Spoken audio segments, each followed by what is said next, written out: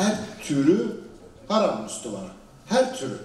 Ama burada da gene aynı tuzağa düşüyoruz. Çok rigid örnekler var. Hollywood örnekleri böyle. Irkçı deyince nedir ırkçı? Herkesin aklına işte Naziler var, Yahudiler var, başka başka bir şey yok. Irkçıyı tarif et dediğinde benim ırkım en üstündür, ben öbür ırklara ölüm, onlara hayat hakkı tanımıyorum gibi saçma sapan rigid tarifler yapıyor. Halbuki hiç böyle bir ırkçı dünyada yok. Bu anlatılan ırkçı dünyada yok. Dünyanın hiçbir ırkçısı böyle demez ki. Irkçılar şöyle söylerler. Mesela bir Türklere karşı ırkçılık yapan bir Alman der ki Dikkat edin bakayım cümleler tanıdık gelecek mi? Duydunuz mu hiç bu cümleleri? Belki kurmuşsunuzdur bile. Bakın tipik ırkçı şöyle cümle kurar. Türkler buraya gelsin tabii. Ben bir şey demiyorum. Ama bizim işimizi elimizden alıyorlar. Türkler buraya gelsin tabii ben bir şey demiyorum ama gençleri çok serserilik yapıyorlar. Türkler buraya gelsin tabii ben bir şey demiyorum. Gelsinler burada ama ama bize uyum sağlasınlar. Bir de Almanların da fakirleri var. Almanların da ihtiyacı olan var. Sen Türklere para dağıtıyorsun, Almanlara niye vermiyorsun? Ta ırkçı budur işte. Siz de ben, ben ırkçı değilim diye numara yapmak için Hollywood'daki Yahudi Nazi ırkçılığı anlatıyorsun. Sen basmaya ırkçısın bunu yapıyorsun işte. Bunu Amerika'da ırkçı da siyahiye böyle söylüyor. Ürdün'deki ırkçı da Filistinliye böyle söylüyor. Türkiye'deki ırkçı da Suriyeli'ye böyle söylüyor. Bu iş böyledir. Numara yapmamak lazım. Aynı şey şeyde de geçerli. Sömürgecilikte de geçerli. Greenwich örneği bakış açısını çok güzel örnek verdi hocam. Dünyanın batısı, Greenwich çizdiler çizgiyi. Hakikaten Allah aşkına Middle East, Orta Doğu. Nerenin ortası, nerenin doğusu? Niye Londra'dan bakıyorsunuz dünyaya? Orası Londra'ya göre Ortada ve Doğu'da. Ya tabii canım benim var. Yani Hintli adama soruyorsun, Çin nerede diyorsun uzak doğu diyor. Garibim, safım benim. O, o Londra'ya uzak, senin kapı komşun. Sana niye uzak olsun sen? Niye uzak duyuyorsun? Niye Londra'dan bakıyorsun dünyaya? Can niye diyeyim? Çizgiyi çizmiş adam oraya. Sana saati belirlemiş. Bakış açısını belirlemiş. İmam Gazali Hazretleri ne diyor? Bana ne gördüğünü söyle. Sana nerede durduğunu söyleyeyim diyor. Durduğun yer gördüğün şeyi belirleyen meseledir. Hocam buna çok dikkat etti. O yüzden Allah razı olsun Savaş Hocam'dan. Şeye, Azmi Hocama bir şeye dikkat etmişti konuşmasının başında ve bunu açmasını rica ediyorum. Mutlaka kendisinin de söyleyecekleri var. Bolca not aldı ama ben Allah rızası için bize, hepimize şu meseleyi bir açın. Mesuliyetimiz var dediniz hocam. O mesuliyetimizi açın inşallah. Evet, Savaş Hoca'ya da çok teşekkür ediyorum. Eren Bey'e de çok teşekkür ediyorum. Bana sözü vermeseydi ben isteyecektim çünkü Savaş Hocam benden 51 saniye fazla konuştu. Müslümanın varlık nedenlerinden ilki adalettir sevgili Önce kendimiz adil olacağız. Yok zaten onu da düzelttiniz ya. Ee, evet sevgili gençler,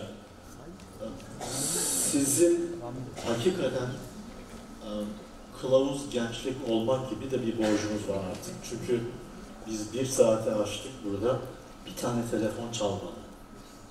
Bu inanılmaz bir asalet. Işık gözüme vurduğu için esneyenleri göremedim. Ee, ama ben hiçbirinizin de e, bir rehavete kapılmadım. Çünkü bu bizim varlıkla yokluk meselemiz gibi bir şey. Niye mesuliyet? Ee,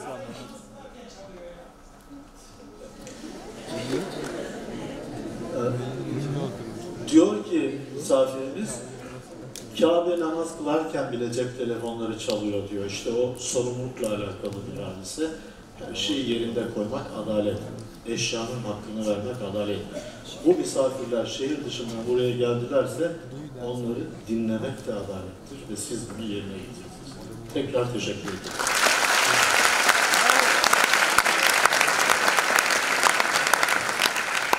Sevgili gençler, birkaç not aldım. Hemen onları bitireceğim. Ama adalete, ama sorumluluğa atıfla söze başlayayım. Böyle ceffer kalem dediğimiz eskilerin rastgele okuduğunuz bir metin vardır. Okul kitaplarında. Ee, Orhun yazıtları. Ben neyi fark ettim biliyor musunuz? Orhun yazıtlarının üslubuyla Orhun yazıtlarının varlığından bile haberdar olmayan Osmanlıların bin sene sonra fermanlarının aynı üslupta olduğunu fark ettim. Orhun yazıtları 700'lü yıllarda yazılmış. 1898'de bir Danimarkalı Thomson okumuş. Bizim mahcubiyet duyacağımız bir şey. Bizim tarihteki ilk yazılı belgelerimizden birisi. Orada der ki, Tanrı yeri ve göğü yarattı, ikisinin arasındaki halkı bana emanet etti. Açları doyurdum, çıplakları giydirdim. Dikkat edin, daha o dönemde bile bir evren, bir dünya vizyonunuz var. Kendinizi dünyanın emanet edildiği bir merci olarak kabul ediyorsunuz. Şimdi bu algı bize Allah tarafından verilen bir algı. Müslüman olduktan sonra da bu algı vediyatullah olarak bize geçmiş. Ve İslam inancımıza göre Allah kainatı yarattı ve içindeki insanları da bize zimmet eyledi. Yani emanet eyledi. Aynı duygu. Dolayısıyla dünyanın neresinde olursa olsun bir yetimin gözyaşı akıyorsa bu bizim sorumluluğumuz. Çünkü hepimiz birbirimizden mesulüz. Dünyanın neresinde bir zulüm varsa ve biz o zulme dur diyemiyorsak biz sorumluluğumuzu yerine getirmiyoruz. Sadece yaptıklarımızdan değil, yapamadıklarımızdan da sorumlu olduğumuz hayat düsturumuz olmalı. Akan kandan da sorumluyuz. Gözyaşından da sorumluyuz. Yetimlerin hakkından da sorumluyuz. Bu fiilen onları işleyen anlamında sorumluluk değil. Geç kalıp onların derdine çare olamamanın sorunu. Çünkü tarihi bize emanet etti Allah. Ve biz o emaneti korumakta ihmal ettik. Çünkü Araplar ihmal ettiği için onların yerine Allah Türklere bu emaneti verdi. Ve dua edin ki bizden bu emaneti almasın. Çünkü o zaman tarihin sonu olacak. İşte o emaneti yerine getirmek için şunları aklınızda tutun. Tam 800 yıl sonra, evet tam 800 yıl sonra Endülüs gitti. Hani biz İstanbul'da 500 senedir varız ya, 500 sene çok uzun ya, hiçbir şey olmaz ya. Öyle düşünenlere hatırlatıyorum. Tam bin yıl sonra Kırım gitti. Tam bin yıl sonra Alaska gitti. Tam 500 yıl sonra Balkanlar gitti. Tarih boşluk kabul etmiyor. Eğer ihmal edersen sorumluluğunu ve bir anda nasıl tabiat boşluk kabul etmeyip denize doldurduğunuz zaman kendine ait olanı 50 senede de olsa gelip alıyor. Tarih de eğer onun bedelini ödemezseniz kendisine ait olanı alıyor. Bunu nasıl yapıyorlar? Şöyle yapıyorlar. Onunla bitireyim Eren Hocam. Sizin böyle telaşınızdan vakit geçiyor diye anladım. Peki. Bu Batılılar dünyaya hakim olma süreçlerinde bir şeyi keşfettiler. Bu açıklayacağım da sizin zihninizde olsun. Bu da onların arşivlerinden bir bel- belge. Dünyanın her yerinden insanlar bize kucaklarını açmış, bizi beklerken, kurtarıcı gibi görürken niye Müslüman Türkler bize direniyorlar? Bu soru onların dışişlerinde. Ve dünyanın her yerindeki konsolosluklarına bir talimat gönderiyorlar. Bulunduğunuz yerde bize direnen insanların niye direndiklerini araştırın ve bize gönderin. Araştırılıyor ve Londra'da bu raporlar birikiyor. O raporların akıbeti şöyle. Bu Müslümanlar ve Türkler bize direniyorlar. Çünkü onların iki şeyi bize direnmeye emrediyor. Birisi inançları, birisi de tarihleri. Çünkü Müslümanlar tarihin hakimleri. Çünkü Müslümanların inancı eğer yurtlarına, eğer dinlerine, eğer evlatlarına, eğer değerlerine bir tasallut, bir saldırı, bir taciz olursa onlara emretmeyi, onlara direnmeyi emrediyor. Peki ne yapacağız o zaman? O zaman işte benim okuduğum gibi fakültelerde, araştırma merkezlerinde, STK'larda bunların dinlerine ve tarihlerine müdahale edeceğiz. O zaman onlara bizim çıkarlarımıza hizmet edecek bir din hediye edeceğiz.